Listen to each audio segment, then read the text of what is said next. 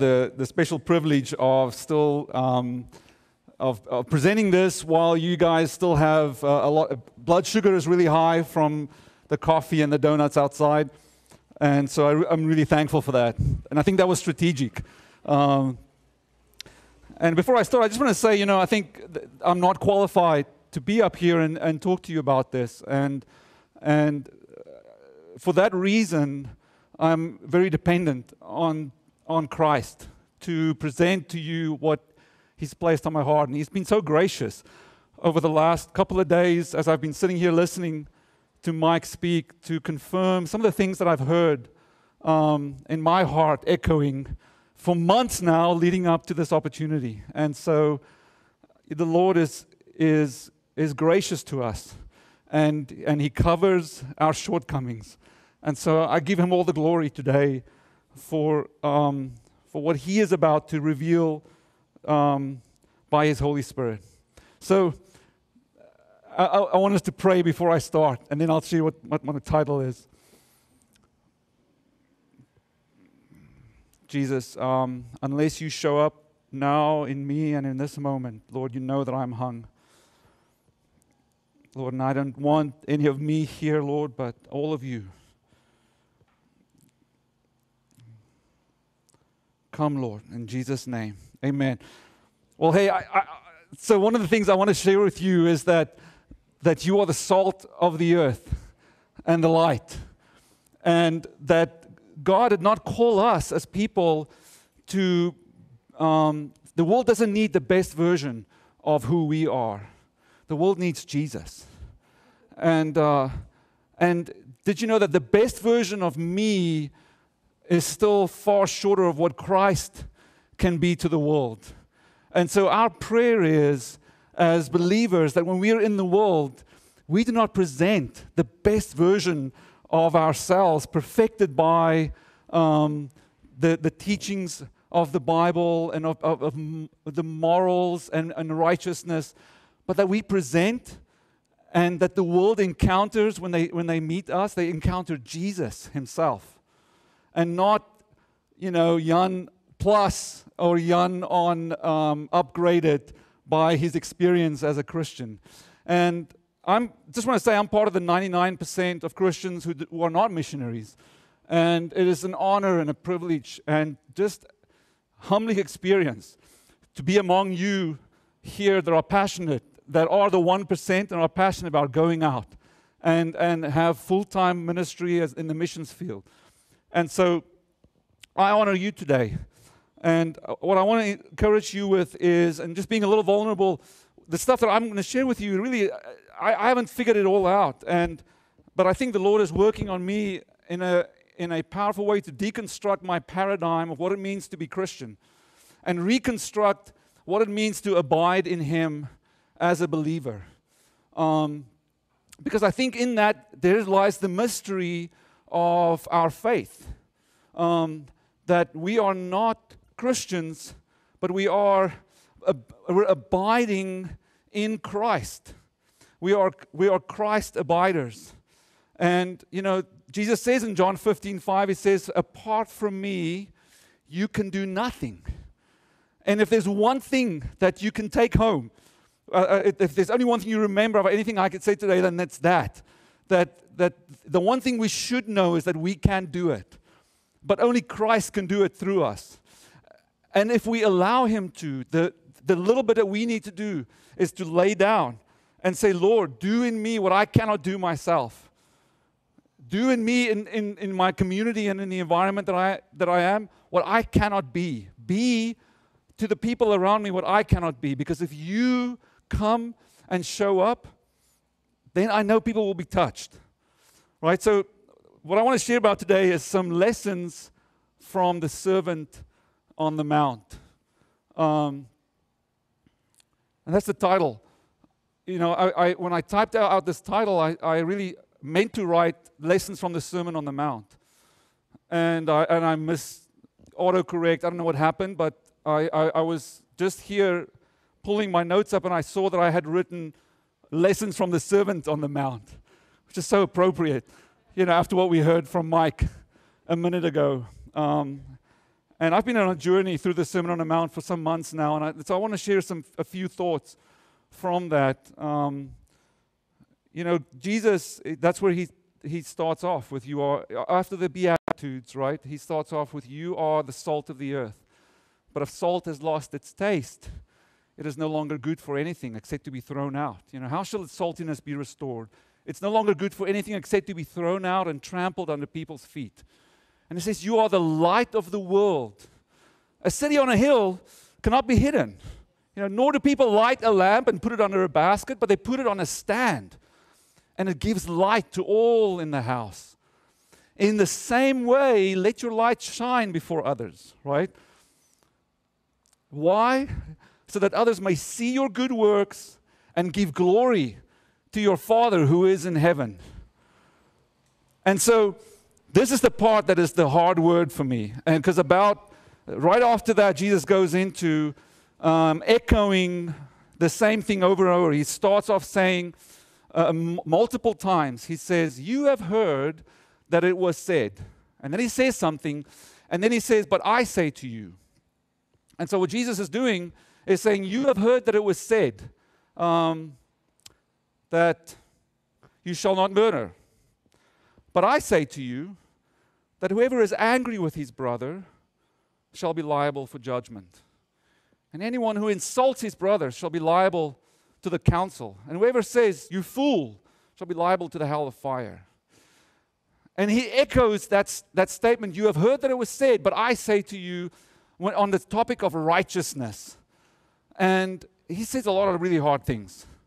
Um, and so when you hear, I am the salt and the light and the light of the world, and I should have my good so that they can, they can see who God is, I think we can mishear what he's really saying there. Because then when he, he goes into this, uh, this echoing these statements where he says, You have heard that it was said, uh, You shall not murder, but I say, Don't be angry with your brother. You know, you have heard that it was said, um, Whoever divorces his wife must give her a certificate of divorce. But I say to you, um, Don't even, divorce should not even be contemplated. Right? He says, You have heard that it was said that um, you should not commit adultery. But I say to you, whoever looks at a woman with lustful intent has already committed adultery in his heart.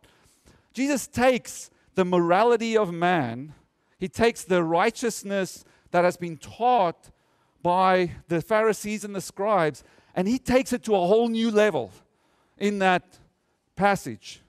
And so when I hear, when I read this, and I go, I, sh- I am to be the salt of the earth and the light. And so, in the same way, let your light shine and let your good works shine before others so that people can give glory to God. The trap that I think we all fall in as Christians is we take this really hard word from Christ and we think we have to be better at being good, right? Uh, Jesus, the, the scribes and Pharisees, and he says it, he says, unless your righteousness exceeds that of the scribes and the Pharisees, you will not enter the kingdom of heaven. But you know what? I think we have been trained to hear those words of Jesus in a certain way. And the way that I think we've been trained to hear it is in a self righteous capacity. And so when Jesus says, you know, uh, when someone takes you to court and takes your tunic, give him your cloak as well. You know, if someone forces you to go one mile, go with them two miles. When we hear that, we go, God, how can I do that? It's a hard thing when I have to muster out of myself the power and the energy to do that. And it is a hard thing. In fact, it is impossible, you know? And that's why I started off telling you that I think unless the Lord shows up in us every day, we're hung. You know, we're, unless Christ shows up in me, I fall short. And the reason I've been thinking about this is, you know, we, we live in the, in, in the States, and um, boy, I just hear a lot of the Christian voice is just an angry voice that you hear at the moment. And a lot of Christians that are vocal on social media and in the political sphere, just an angry voice and very self righteous and kind of judgmental. And I think Mike alluded to that last night as to the way that non believers perceive Christians today they, they perceive us in the way that we're bringing righteousness to the world, you know? And so, how do I interpret this servant that stood, you know, on the banks of the Sea of Galilee so many years ago and brought this word? How do I interpret his words when he's actually saying, but that's what I should be doing? I should be more righteous than those around me, you know? And I should be, uh, unless my righteousness exceeds that of the scribes and the Pharisees.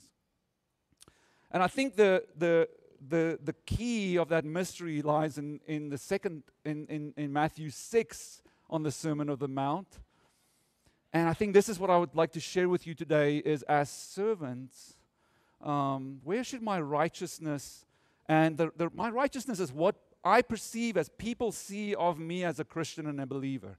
The way that, that, that my, my works testify to God, right? I think that's the way that, at least from a European perspective, you know, the way I grew up, um, that's the way that I perceive the world. Is that that if I'm a good person, then I'm most likely a Christian.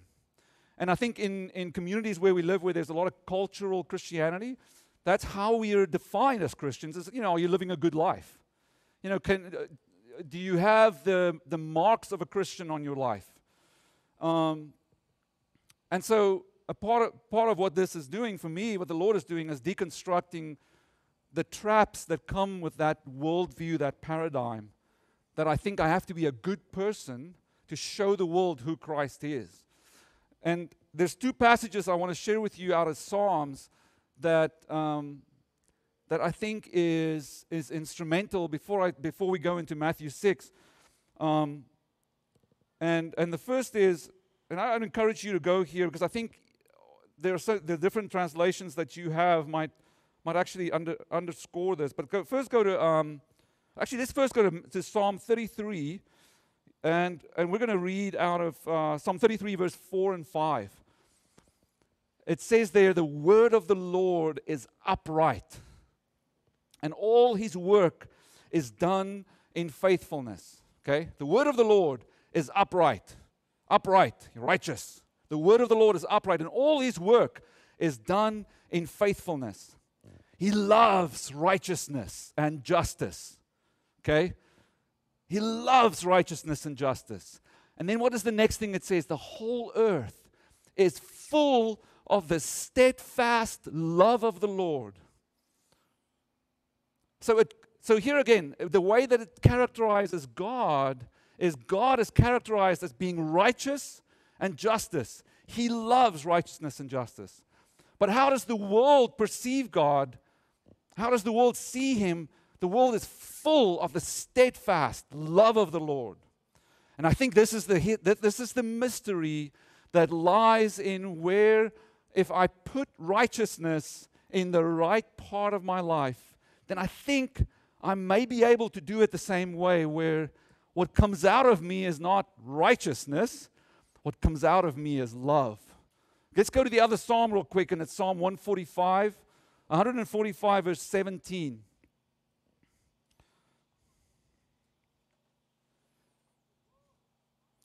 It says, The Lord is righteous in all his ways and kind in all his works. Okay? Hear that. The Lord is righteous in his ways, the way he is characterized, who he is. The Lord is righteous in all his ways, but in his works, the things that come out, what you see and what you encounter is kindness. Okay? I mean, why is it that people perceive Christians as judgmental? Because we are. We conflate and confuse these things that are so subtly different. And Jesus took the time to echo, you know, you have heard that it was said, this is the way you should live. When you divorce your wife, you need to be to do the right thing. Give her a certificate of divorce. But I say to you, you know, that if you if you commit if you if you divorce your wife, you commit adultery. Boy, and so he he takes us through one after the other of these of these things that are um, that, that just a hard word that are, that hard to hear for us because we fall short of it, every single one of us.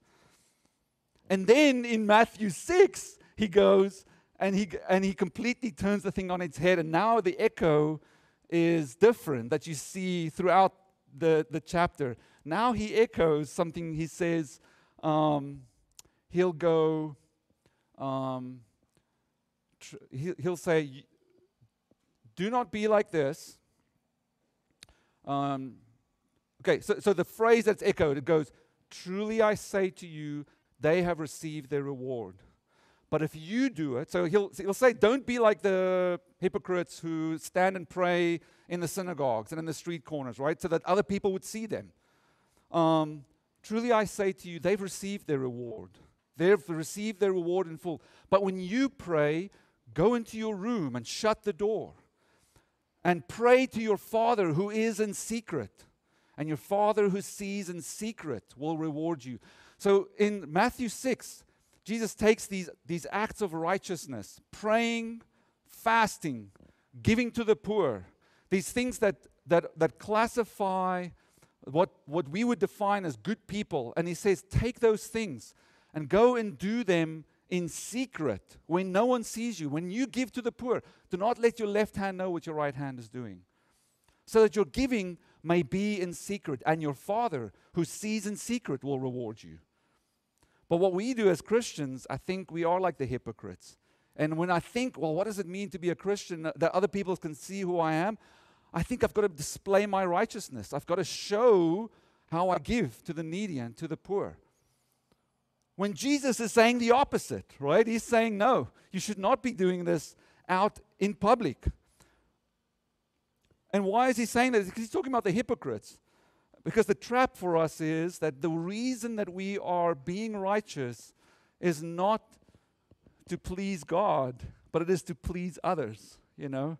And I think it's so easy for us, especially, you know, in, when, we, when we start becoming a Christian and we have that purity of faith when you first come to know Christ. And then I think when we start going to church, there's a risk there that when you start joining church, you see, oh, these people, okay, you, you, you can't, you can't uh, there's certain words I can't use with these people, right? And there's certain things I can't talk about with, when, when I'm with these people. Why? Because it's not acceptable. Because people judge me as, oh, yes, he's not quite there yet. And so we start, beha- we start modifying our behavior to be more acceptable to those around us, you know? And, and it, it's natural for us to do that. But I think what's happened in the process is that we have lost um, that purity of faith that comes initially when I, I, I, my sins, I was okay for the Lord to know my sins because His grace covered them over, you know. The law, it says in Romans 5, was sent to increase um, the trespass. The law, the law came in to increase the trespass. Um, but where sin increased, grace abounded all the more. Let me tell you something. I think the key for, that, that for me is it, the Lord is, is teaching is that it is not about how good I am as a Christian or how well I can portray my righteousness, but it is whether the, the righteousness that I love in my heart in secret and, the, and my active service to the Lord that I do in, in the closet when no one sees me. That when I'm fasting, no one is aware of it. It is those acts of righteousness there that comes out as kindness and love to the world around me. And I think if we get it right in secret, if we get righteousness right in secret when no one sees us, then the servanthood and the, and the love and kindness of God comes out on the other side naturally. Why? Because when I'm in, in my closet on my knees in prayer and no one is there to see me, there's nothing glorious about that, right? There's no reward in that with the people that are over me, that, that are kind of monitoring my progress as a Christian. Right? And if I fast, and I fasted for two meals, um, but no one knows about it, boy, there's no glory in that. There's no glory in that from the people that, are, that I'm being discipled by. And I can't get that reward from them that says, You've done really well. And so, where do I find, if I find it from Christ, if I find it from the Lord, then I think it changes my countenance when I'm, a, when I'm outside and, and, around people.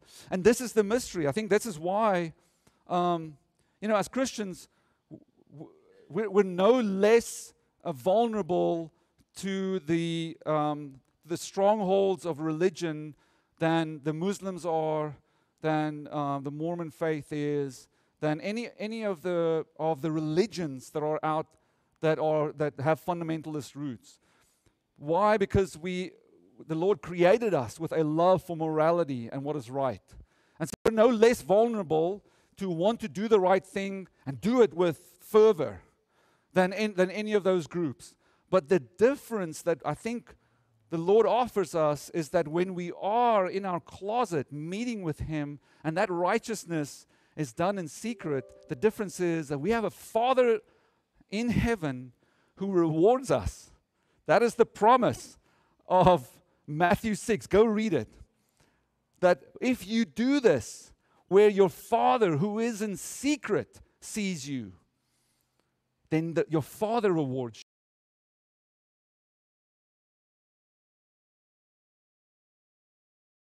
This servant on the mount taught us to do the things that people, ha- the hooks that, that there are about what does it mean to be a Christian, to take them out of the public space.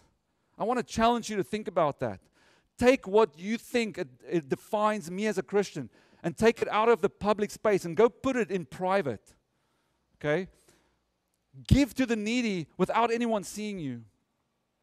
And go and pray by yourself in, the, in your closet. Shut your door and pray to your Father who is in secret.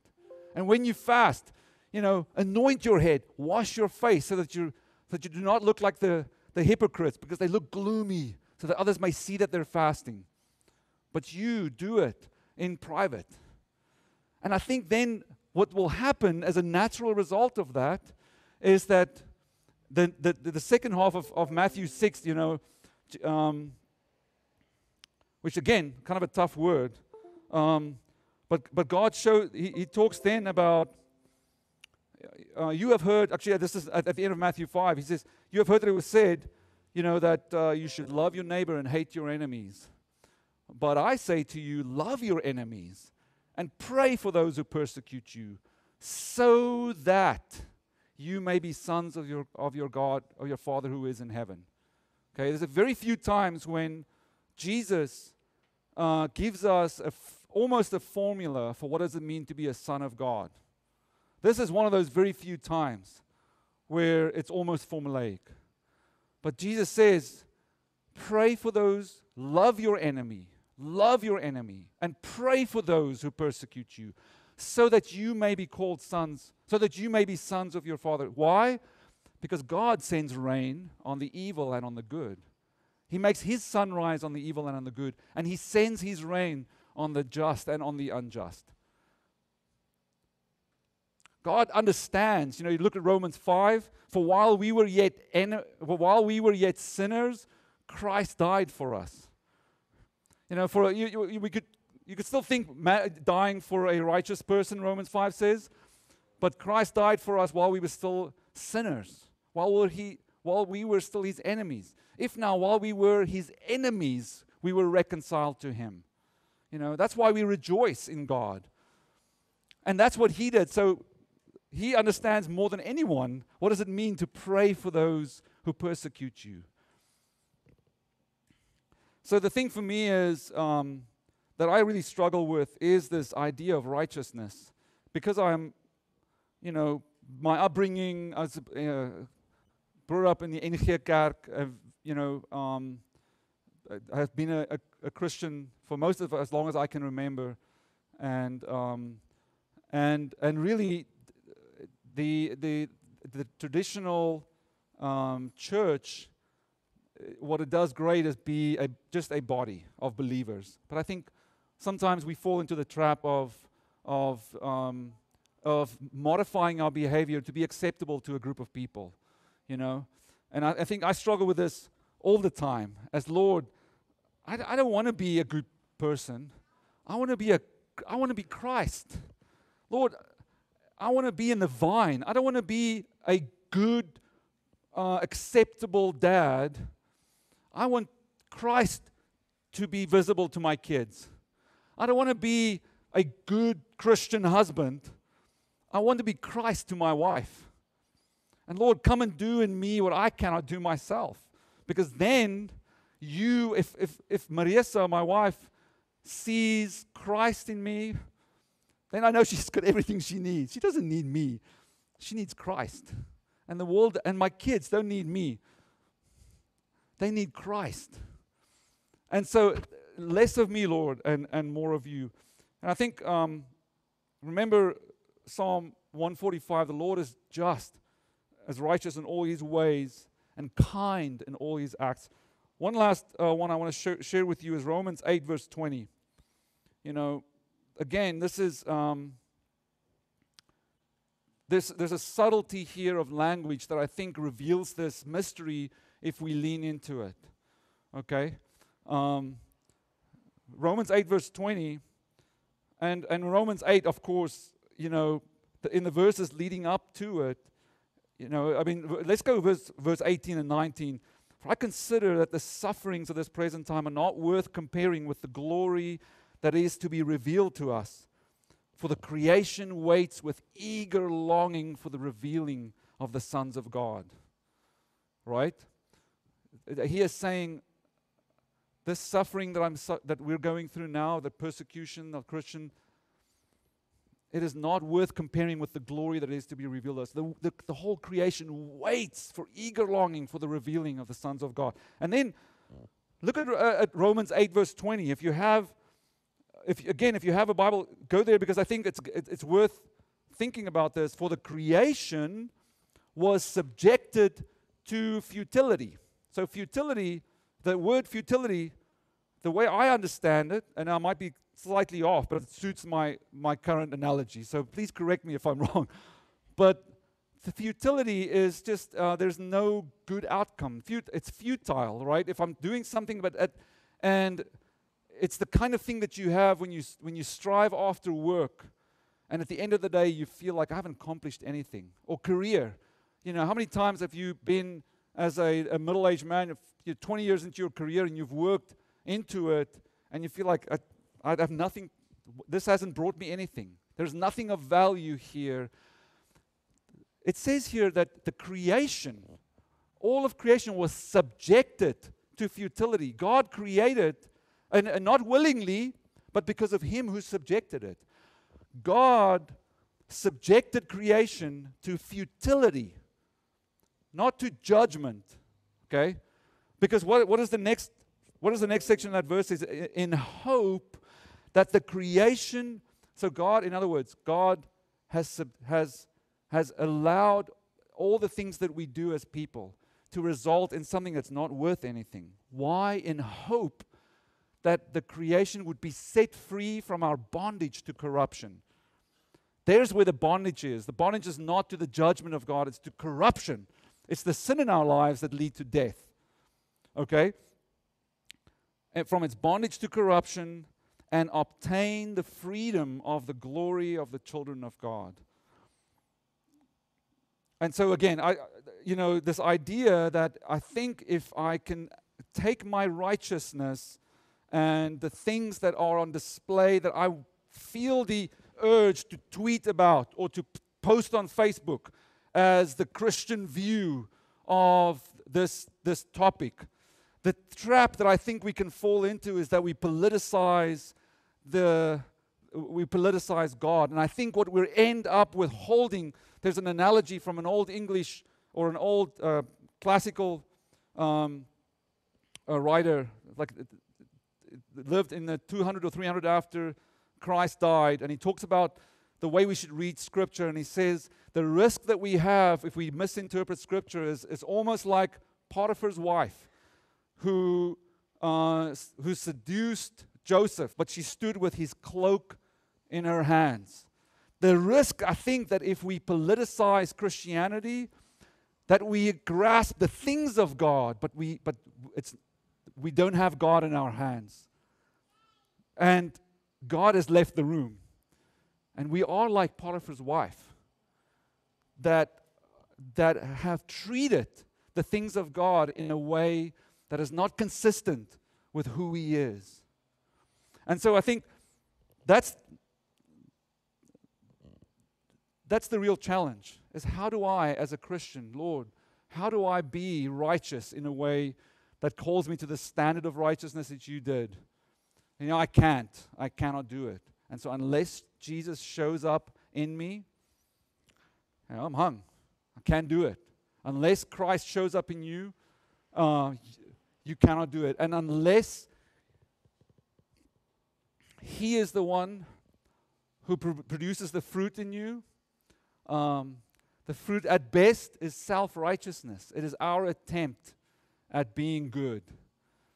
And so I think that's the thing, you know, if, if, when, I'm, when, when you have that urge to share what the right view is, what should the Christian worldview be about um, um, any contemporary issue, I would say uh, take that Christian worldview and go pray about it in private. You know, if any of you lacks wisdom, let him come to me and pray. And the God, right, God the Father will reveal wisdom to you. We live in a time more than uh, I think any of, of in, in our age where we get to practice Romans 14, right?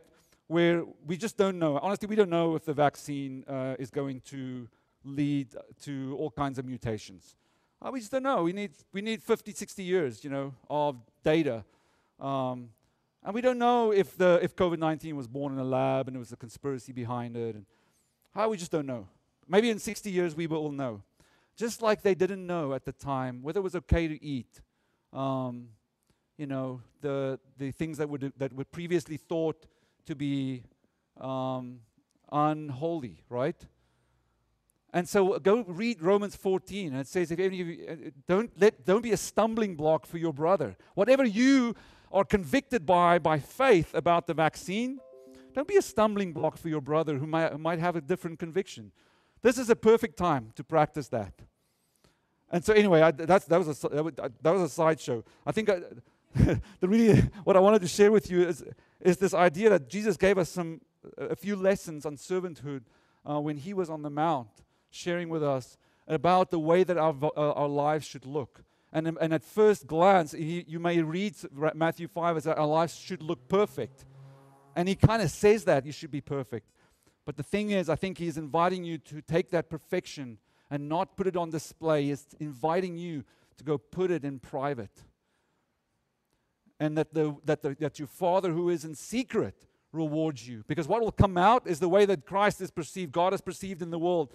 That if, if the best thing for us is that if people understand that you are righteous because you love it, but that your ways are kind, and that, the earth, that, that what surrounds you is, is, is, is the steadfast love of the Lord and nothing else. Let's pray.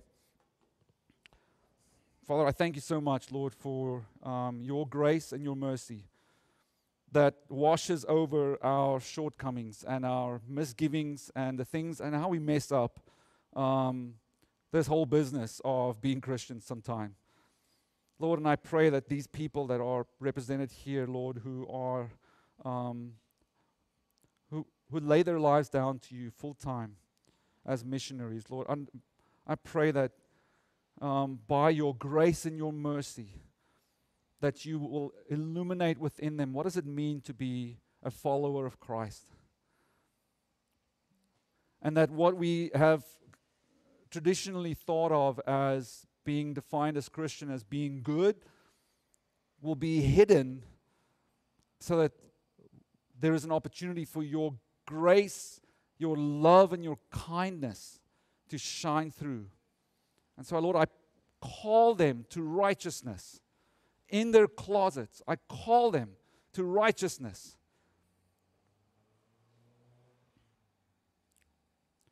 But I give, but pray that Lord that you give them the courage to hide that righteousness. That your love and your mercy may be on display, that the creation may be released and set free from its bondage to corruption and obtain the hope of the freedom of the glory of the children of God. In Jesus' name we pray. Amen.